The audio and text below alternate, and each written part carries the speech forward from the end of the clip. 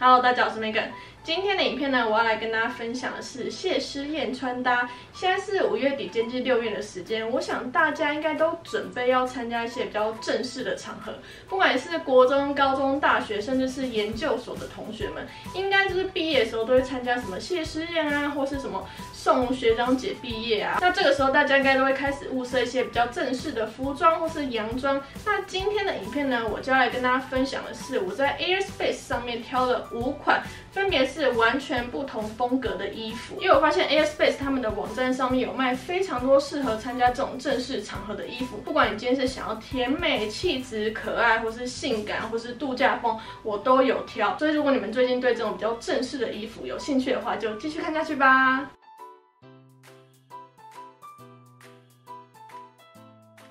好，那首先就先从我身上的这件洋装开始。我今天身上的这一件呢，它是一件削肩的连身洋装。那这件洋装不管是它的剪裁、版型还是长度，我个人都觉得非常的满意。首先第一点呢，是它削肩的部分，我觉得很特别。它是用金属的环去做成的，所以呢，它是两个环这样子扣起来的。所以这个设计，我觉得比起一般的雪纺都还要再更特别一点。只是不知道它的这个金属，就是下水的时候会不会容易洗坏。如果不会的话，基本上我觉得它这个设计是非常的有巧思。以及呢，它削肩的部分，我觉得它开的也是刚刚好，而且它的包覆性是够的。所以女生如果你有副乳的问题的话，这个我觉得它遮的还不错。以及呢，它后面是。是这样子。完全挖背的，那我觉得它这个挖背的高度也是挖的蛮刚好的，就是它不会太低，因为如果太低的话，可能看起来有点太性感。那它整件洋装的垂坠感，我觉得都很漂亮。因为这件我特别挑的是粉红色，它其实有很多不同的颜色，可是呢，我觉得如果是挑黑色或是白色，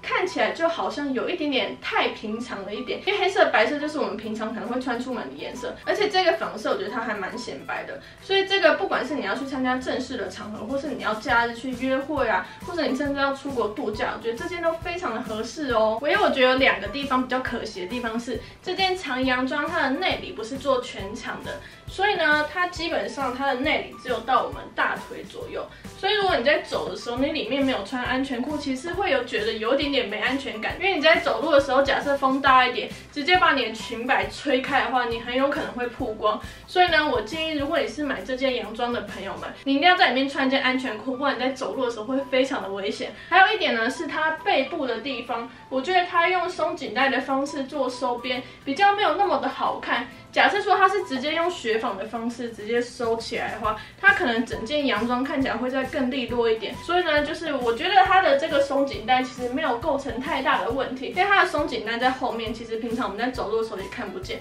或是如果你是长头发的女生，你头发只要拨到后面，其实就看不太出来了。只是我觉得说这个地方如果再调整的话，这件洋装会更完美。除此之外呢，这件洋装我个人都非常的推荐。好，那第二套呢，就是我现在身上这件洋装。我觉得这件洋装呢，是我这次买到。我觉得非常非常仙的洋装，因为呢它是全白的，并且呢它的后面是整个挖背，而且我很喜欢它蕾丝的设计，因为它胸前以及它背部的这些雕花全部都是用蕾丝做的，所以这件整个穿起来垂坠感我觉非常的漂亮，而且呢它的袖子是做水袖的，我之前有跟大家说，就是水袖是一个非常凸显女人味的设计，而且呢它可以遮住你的肉手臂。所以呢，根本就是一举多得。唯一有一点我觉得非常可惜的地方是，这件洋装它太短了。我一百六十五公分，它只有到我大腿左右的位置，所以呢，基本上如果我要单穿它的话，会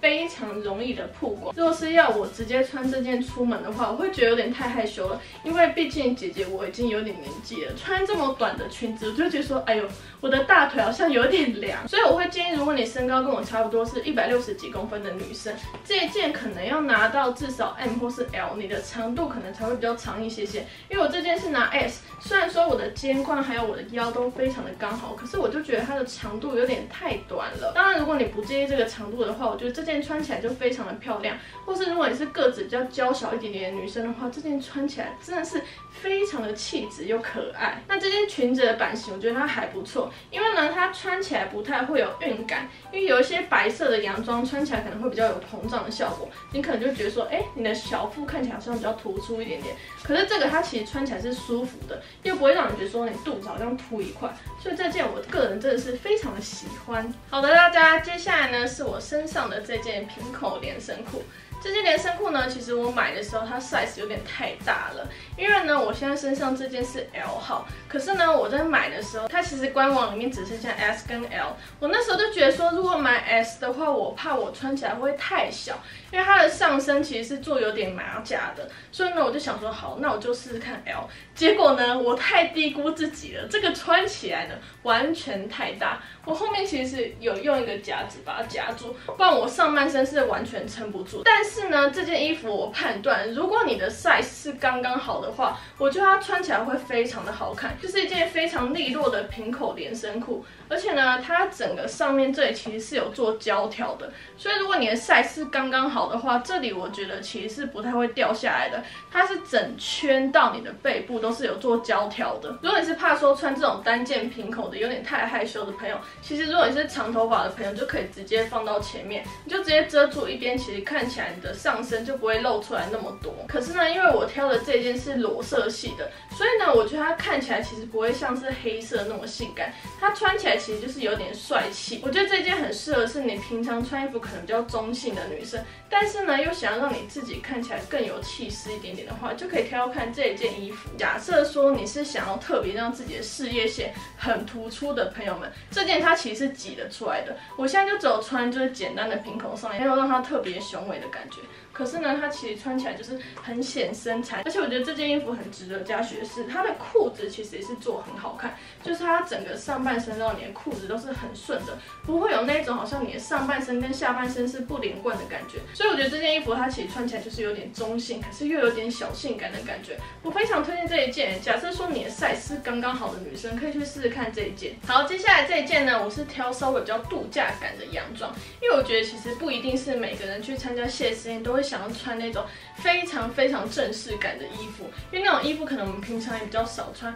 可是呢，我今天挑的这件洋装呢，它是那种平常你就算是出门要逛街也可以穿的洋装。那这件洋装我觉得基本上它穿起来没有任何问题，就是不管是它的版型啊，还是颜色，像它这个蓝色，我觉得很特别。而且这个蓝色，你不觉得它又很适合去什么度假的国家吗？像是如果你们毕业旅行要跟同学去什么泰国啊、菲律宾或者什么普吉岛、长滩岛，穿这。个都超合适的，而且这个一字领洋装是我特别挑的，因为呢有很多一字领洋装，它其实袖子的地方跟你衣服的地方是分开的，那一种很容易你穿进去会非常容易你的手这边会显得很胖，就好像你松紧带捆在那边看起来很不自然。可是这件呢，它衣服的地方跟它袖子的地方是同一块布料，所以呢它看起来是非常平顺的。那这件洋装它是做整个排扣的设计，所以呢如果你想要把这件洋装当成罩衫的话，其实也可以。你把它的扣子解开之后，它其实就变成一件长罩衫。那这件一字连开口也是开的刚刚好，它刚好是在你手可以这样活动的地方。因为有些做太紧，你手是完全没有办法伸开来的。所以这件基本上，如果你是要穿去吃饭啊，或是逛街，就是你手部的动作没有太大的话，